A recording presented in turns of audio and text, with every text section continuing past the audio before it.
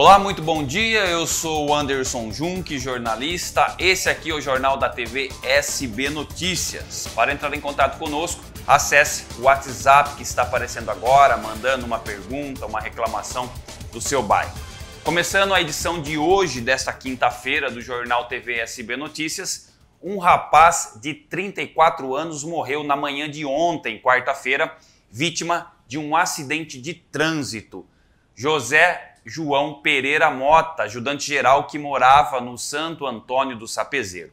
Conforme informações da Polícia Militar, que atendeu a ocorrência, ele conduzia sua moto na região do Parque Araçariguama por volta das 6h50 e na rotatória da Avenida Corifeu de Azevedo Marques, ele bateu contra um poste. O rapaz estava há pouco tempo no novo trabalho. O dono da empresa a qual o João trabalhava lamentou a morte do rapaz e está dando toda a assistência à família.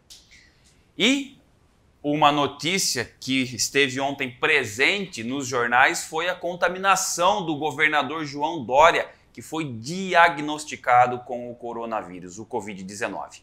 Ele recebeu a informação na manhã de quarta-feira e deverá cumprir o protocolo do Ministério da Saúde com isolamento domiciliar nos próximos 10 dias. O vice-governador Rodrigo Garcia, que conduziu a entrevista coletiva no Palácio dos Bandeirantes, o vice-governador disse que Dória está assintomático, ou seja, sem sintomas, mas não vai pedir licença do cargo e estará trabalhando de forma remota da sua casa.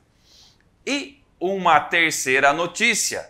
A terceira vara civil da cidade de Americana concedeu no início da tarde de ontem uma liminar, que é uma decisão provisória para proibir o transporte de passageiros em pé nos ônibus da cidade. A Sansetur, empresa responsável pelo serviço, que atua na cidade como a Sul Americana, também deve restabelecer o transporte aos domingos e feriados com 50% da frota.